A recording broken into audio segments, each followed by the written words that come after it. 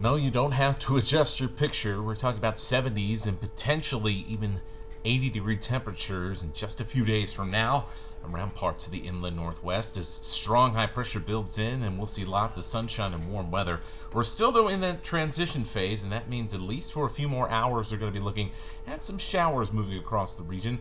By the time we head towards say 9, 10 o'clock and the sun goes down, we will have everything really started to fade away. Partly cloudy skies as we head into tonight and as we wake up in the morning.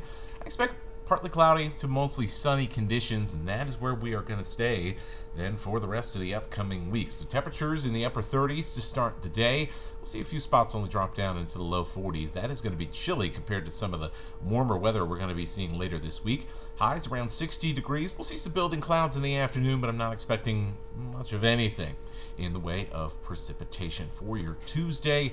And that will stay the case as we get even sunnier late in the week. And we've adjusted the temperatures upward here on this Monday afternoon, where we are talking about the potential in Spokane and Coeur d'Alene for some upper 70s for the start of the weekend. So it is going to feel a whole lot warmer.